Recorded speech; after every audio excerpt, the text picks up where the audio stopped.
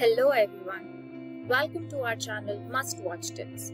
Today in this video, we will see how to apply a filter formula and not the filter function. So we have in our previous videos, we have seen how to apply a filter function. So you can apply filter functions in two and three different ways.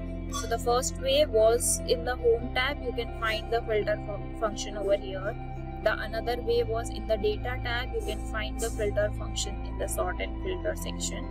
And the third way was like you can select the range and then press Ctrl shift and L and you can see that filter function has been applied. But in this video we don't want to apply the filter function but we want to use the filter formula.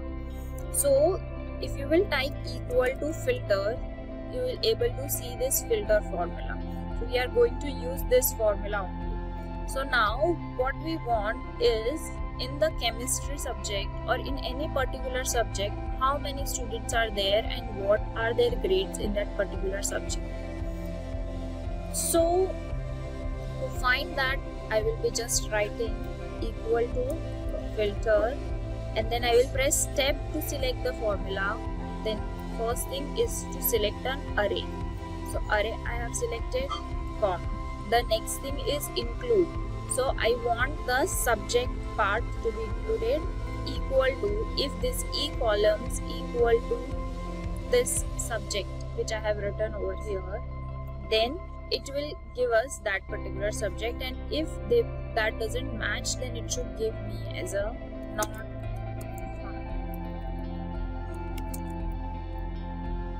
I will close the brackets. You can see that here I have selected the mathematics and now I am getting the mathematics data. If I will select here biology, so you can see that we are getting the biology data below. If suppose I have written the spelling wrong, so here they are giving us as a not. So you have to make sure that if that subject which you are you want to find should have the correct spelling. So this way you can apply the filter formula. So that's all for this video. I hope you have understood how to apply the filter formula. If you have any doubt or query, you can just comment below in this video and we will try to solve your query as soon as possible. Thank you so much.